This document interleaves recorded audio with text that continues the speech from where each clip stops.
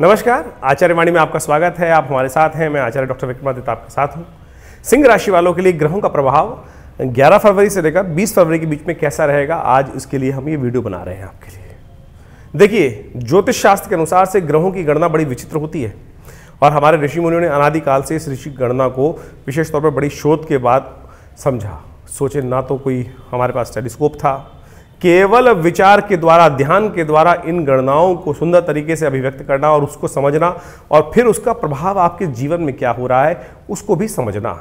बहुत सारे लोग ज्योतिष पे हम देखते हैं, बड़े विचित्र प्रकार के आक्षेपित करने का प्रयास करते हैं। अरे सोचो, आज जिस चीज़ की गणना निकालने के लिए विज्ञान में अरबों खरबों रुपए खर्च किए जाते हैं, उसके बाद वो गणना आती है और भारतीय ज्योतिष विज्ञान का पंचांग जो होता है वो विशेष तौर पर आज से नहीं, कितने करोड़ों वर्षों से लिखा जाता है।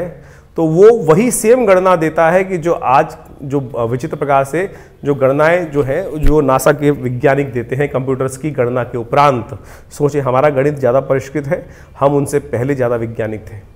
तो जो गणनाएँ हमने जब बिल्कुल सत्य निकाली तो जो ज्योतिष की गणना भविष्य फल की तरफ़ जाती है, वो क्यों नहीं होगी? आज उसको समझने का आपको प्रयास करना चाहिए। बुद्धिमान व्यक्ति वो है कि जो अपने विवेक को जगाए। केवल हम अंग्रेज़ी पढ़ने के उपरांत अपने आप को सो कॉल्ड सिविलाइज कहने का बात करते हैं तो उससे सिविलाइज नहीं बन जाते आप। कोट पैंट पहन के सिविलाइज रहने का प्रदर्शन कर सकते हैं, वो ड्रामा ही रहेगा।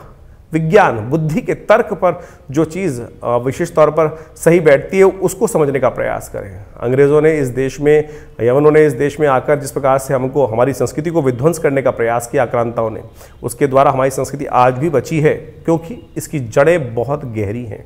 तो खैर, ये बातें कभी और करेंगे, लेकिन आज हम उपस्थित हैं आपके समक्ष। सिंह राशि वालों के लिए कैसा रहेगा भाग्य तो उसकी आपको सबसे पहले समझ लेना चाहिए। सिंह राशि वालों, आपकी ग्रह गणना दिखाती है कि जब ग्यारह तारीख का सुबह सूर्योदय होगा तो वो जो चंद्रमा है वो आपके लिए बड़ा अच्छा रहेगा। चंद्रमा कन्या राशि में चल रहे होंगे और करीब करीब बारह बज के अट्ठावन मिनट तक ये जो विशेष तौर पर रहेंगे, कन्या राशि पे रहेंगे। तो ये समय बड़ा अच्छा रहेगा, आपके लिए आपके मनोविचार से लाभ के योग बनाएगा, आपको आगे बढ़ने के योग दे सकता है और ख़ास तौर पे बड़े लाभ की स्थिति बन सकती है। और ये दिखाता है कि आपको अपनी माँ के द्वारा, यदि जैसे जैसे थोड़ी देर के लिए चंद्रमा वहाँ होगा तो ये दस दिन की शुरुआत में आपको दिखाता है कि आपको सुबह सुबह उठ के अपनी माता जी का आशीर्वाद, जिनके भाग्यशाली हैं, जिनके माता पिता जीवित हैं तो आप कोशिश करें अपनी माता जी का आशीर्वाद सुबह सुबह उनका विशेष तौर पर लेके काम करने का प्रयास करें। आपके दस के दस दिन, ये मैं आपको सूत्र दे रहा हूँ, दस के दस दिन शुभ कर सकते हैं छोटे से उपाय के करने से। इसी दिन यदि आप, क्योंकि सुंदर योग पड़ रहा है, खास तौर पर यदि हम बात करें कि हम ग्यारह तारीख को जो विशेष तौर पे ग्रहों का योगा योग रहेगा, उसके अनुसार से आप लाभ ले सकते हैं। तो आप सुंदर तरीके से चावल का दान कर दीजिए उस दिन सुबह सुबह दस दिन को सूत्र शुरू करने के लिए बड़ा सुंदर उपाय बता रहा हूँ। और इसको करके आप लाभ ले सकते हैं। और उसके बाद दोपहर को बारह बज के अट्ठावन मिनट पर तुला पे चले जाएँगे, चंद्रमा।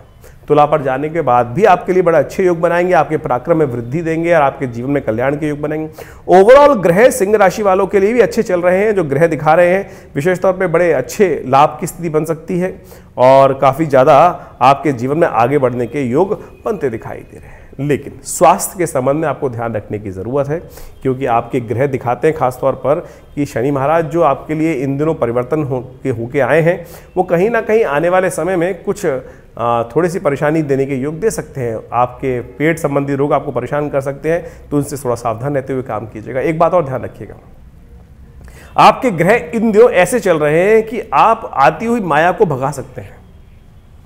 थोड़े फक्कड़ स्वभाव ज़्यादा हो सकते हैं। नहीं नहीं, हटाओ, मुझे नहीं करना, मेरे को नहीं लेना। ऐसा स्वभाव जो है, फक्कड़ स्वभाव जो है, फक्कड़ का मतलब होता है कि रमता योगी, जिसको कोई चीज़ का मतलब ही नहीं। देखिए, चाहते अंदर से हैं, आप, आपका हिस्सा नहीं, लेकिन आप उठा के क्रोध में लात मार दें चीज़ों को। ऐसा ना कीजिएगा, क्योंकि ग्रह दिखा रहे हैं कि इन दिनों आपका स्वभाव थोड़ा ऐसा हो सकता है कि, अरे, उदारता अच्छा अच्छा ले जाओ उठा उठा उठाओ, मुझे नहीं चाहिए, मेरा हिस्सा भी। आप छोड़े, बाद में उस पर फिर पछतावे होते क्या जब चिड़िया चुग गई खेत। तो इस बात का ध्यान रखिएगा ग्रह साफ़ साफ़ इशारा कर रहे हैं इन बात से सबको बचने का प्रयास करना है क्योंकि इन दिनों संक्रांति भी होने वाली है। आ, इस इस दौरान संक्रांति पड़ेगी चौदह तारीख को संक्रांति का योग पड़ेगा संक्रांति में चंद्रमा जो सूर्य है वो विशेष तौर पर आपके मकर राशि से निकलकर छठे भाव से निकल कर सप्तम भाव में चले जाएँगे। सप्तम भाव में शनि शनि महाराज ऑलरेडी विद्यमान है और जो पिता पुत्र का एक साथ योग बन जाएगा सामने की तरफ़, ये पारिवारिक दृष्टिकोण से कहीं समस्या उत्पन्न न कर दे, इस बात का ध्यान रखिएगा, इसलिए अपने गुस्से को कंट्रोल करने का प्रयास कीजिएगा।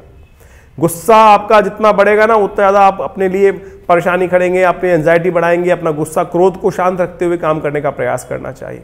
आपके लिए सबसे अच्छा यह है कि अपने जीवन साथी पर विश्वास रखें, उनकी बात मानने का प्रयास करें, एक चुप सौ को हराए।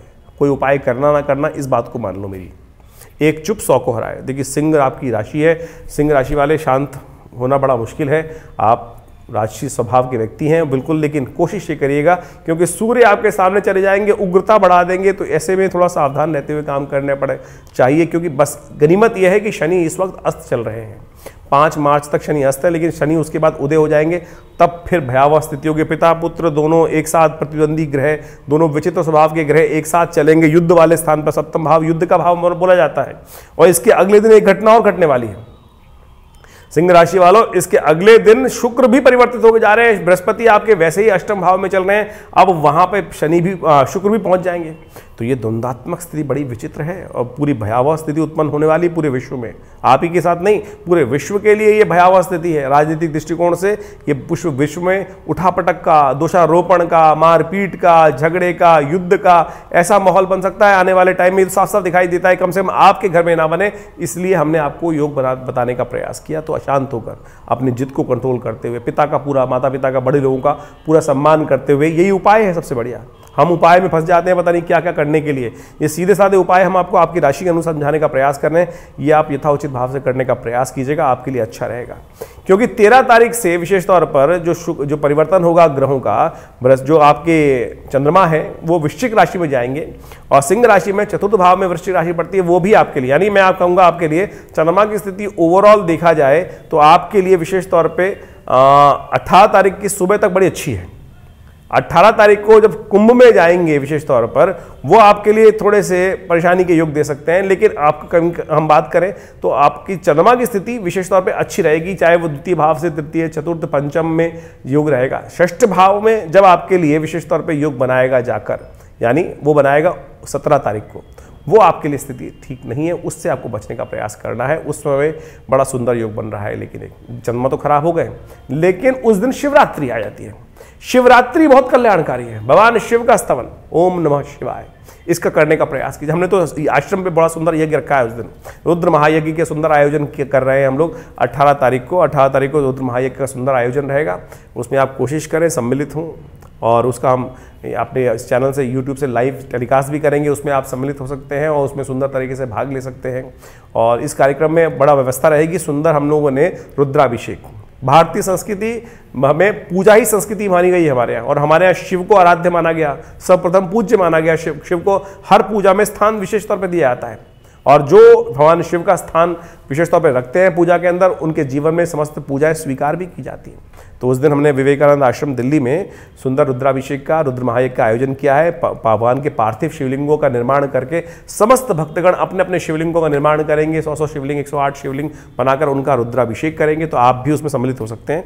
तो खैर, ये तो बात कार्यक्रम की रहेगी, लेकिन आपके लिए चंद्रमा क्योंकि खराब है, ऐसे में हमने आपको कहा शिव, प्रदोष और शिवरात्रि का योग एक साथ पड़ रहा है तो उसको करने का प्रयास कीजिएगा। वो आपके कष्टों को दूर करने का योग बनाएगा। देखिए, उसके बाद चंद्रमा और साथ साथ जो स्थिति रहेगी 19 तारीख को रात्रि में, करीब करीब एक बज के पंद्रह मिनट पर चंद्रमा भी एक राशि उसी पे आ जाएँगे कुंभ राशि पर और सूर्य चल ही रहे हैं वहाँ पर, शनि भी वहीं चल रहे हैं तो बड़ी द्वंदात्मक स्थिति रहेगी, सोमवती अमावस का सुंदर युग बन जाएगा। तो उस दिन आप कोशिश करें चावल का दान करने का प्रयास करें। चावल का दान करने से आपके मनस्थिति में थोड़ी सी कष्ट जो बनने के योग दिखाई देते हैं, वो दूर होंगे थोड़ा सा क्लैश ज़्यादा बढ़ सकता है थोड़ा सा इसलिए मन को शांत रखने का प्रयास करें। देखिए, ये सब ग्रहों का योगा योग बहुत प्रभाव उत्पन्न करता है। इसके ऊपर बहुत रिसर्च वर्ल्ड वाइड हुई है कि चंद्रमा जैसे से परिवर्तित होता है, अमावस्या के दिन किस प्रकार का मनोभाव रहेगा, आमतौर पर किस प्रकार से क्या कुछ करने के योग बन सकते हैं तो वो भी समझ लेना चाहिए। ज्योतिषीय दृष्टिकोण से अध्यात्म दृष्टिकोण से हमारे यहाँ सोमवती अमावस का बड़ा पुण्य कहा गया। उस दिन हमें पितरों के निमित्त तर्पण करना चाहिए, स्नान करना चाहिए तीर्थ जल से, और साथ साथ दान करने का प्रयास करना चाहिए। गायत्री का जप करना चाहिए, पितृ गायत्री का जप करना चाहिए। इससे पितरों का आशीर्वाद मिलता है और कल्याणकारी योग बनते हैं। सोमवती अमावस बड़ा ही पुण्यदायक पर्व है, और कहा जाता है, पांडवों के जीवन में एक बार भी योग नहीं बना था। तो विशेष तौर पर आपके जीवन में आपको कई बार प्राप्त होने के योग बने सोमवती अमावस तो उस तिथि को जाने मत दीजिए, क्योंकि आने वाली ग्रहों की स्थिति बड़ी विचित्र है। हमने आपको समझाने का प्रयास किया, कैसी भयावह स्थिति है। क्योंकि दो परस्पर द्वंदात्मक ग्रहों का योग चल रहा है, और यही योग उन्नीस सौ पैंसठ में भारत पाकिस्तान के युद्ध में बना था, कई बार पहले बन चुका है, और यही योग आज से दो साल पहले भी जो देश में अराजकता की स्थिति बनी, तब बना। तो इस बार में हमें दिखाई देता है कि यही योग आने वाले कुछ महीनों में उठा पटक के योग देगा। राजनीतिक प्रतिद्वंदता के कारण से दो वर्ग विशेषों में आपस में झगड़ा, कई प्रकार के अवसाद उत्पन्न करने के योग बन सकते हैं। वाक युद्ध बहुत ज़बरदस्त हो सकता है, इसलिए मन को भी शांत रखें अपने घर को भी शांत रखने का प्रयास कीजिए। ग्रहों की स्थिति किस प्रकार से उसको ठीक करने का आपको प्रयास करना चाहिए, उपाय हमने आपको बताने का प्रयास किया। तो आप इन सब चीज़ों का काम करें, मंत्र जप करें, भगवान का नाम लें, आपके जीवन में कल्याण के युग बने, आपके मन में कोई प्रश्न चल रहा है तो आप हमसे इन नंबर्स पे व्हाट्सअप के माध्यम से संपर्क कर सकते हैं। हाँ रुद्राभिषेक के सामने शिवरात्रि के बारे में हमने आपको बताया, उसमें आप कोशिश करें स्वयं भाग लें। दिल्ली में विवेकानंद योग आश्रम में सुंदर कार्यक्रम रहेगा। आप अपने प्रतिनिधित्व के तौर पर व्यवस्था भी कर सकते हैं, उसके लिए फ़ोन नंबर्स आपके सामने चल रहे हैं, उन पर आप फ़ोन कर कर अपने पूरी विशेष जानकारी प्राप्त कर सकते हैं। धन्यवाद।